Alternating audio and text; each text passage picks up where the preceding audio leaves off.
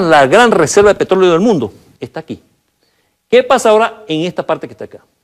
Lo que se llama el famoso arco minero de lo que es el arco minero de Orinoco. Todo, lo que es el gran, la, gran, el gran desarrollo minero de Venezuela.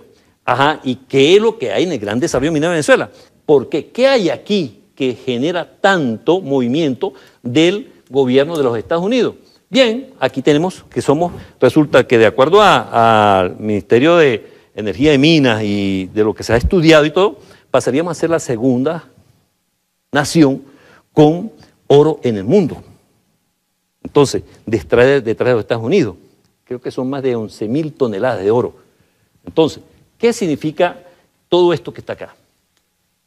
Resulta que ahí también hay un mineral que se llama el thorium, que actualmente se está experimentando, tiene una certidumbre del más del noventa y tanto por ciento, de que es un combustible nuclear que es el que va a sustituir a lo que es el uranio. Aunque nosotros tenemos uranio en Zulia, Táchira, Mérida, Trujillo, se consigue uranio, de acuerdo a la, de, las bases de las fuentes del Ministerio de Energía y Minas.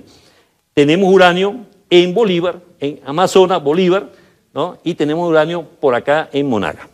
O sea, que tenemos uranio. Y además tenemos el sustituto del uranio cuando se decida que es mejor el torio. Entonces, el torium resulta que se le está llamando es energía, combustible nuclear no contaminante, combustible nuclear de energía verde.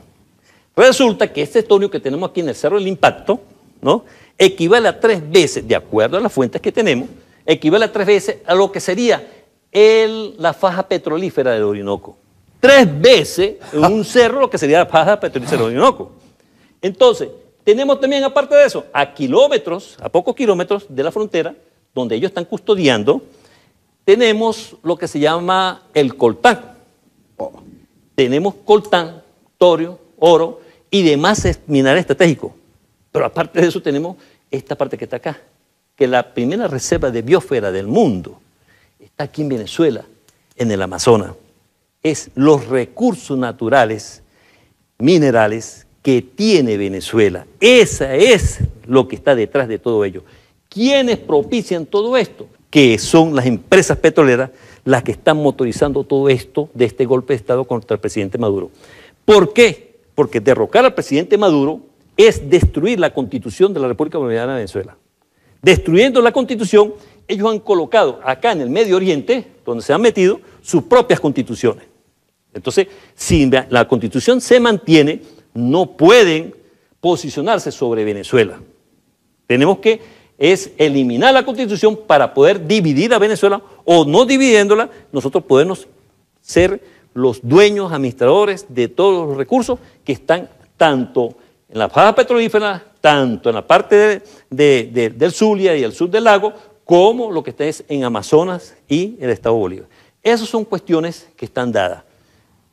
¿Qué sucede hoy día con Freedom 2. Cuando uno se lee el documento Freedom 2 del general, la guía de planeamiento del general Kurt Krieg, este, él dice en una, de sus partes donde hay que involucrar, o sea, él sigue que hay que mantener la relación con los políticos, integrantes de la mesa de la unidad democrática, con involucrar lo que dice eh, la, eh, invocar lo que es la carta democrática, todo eso lo hemos venido escuchando todos estos meses atrás.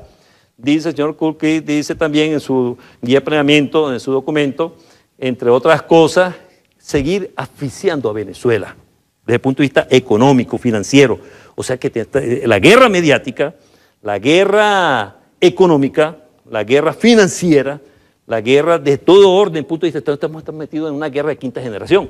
Esa guerra de quinta generación, lógicamente, está detrás los Estados Unidos, quien le manda al Comando Sur que elabore ¿no? su plan de cómo asfixiar, estrangular, sacar, destruir a Venezuela. El Estado-Nación hay que destruirlo. de alguna manera. Definamos Estado-Nación. Bueno, Estado-Nación, como tal, Venezuela, el Estado venezolano, el gobierno nacional, la nación venezolana, su gente, su cultura, su territorio, todo tiene que ser, ¿no? Tiene que desaparecer. Hay que dividir a Venezuela.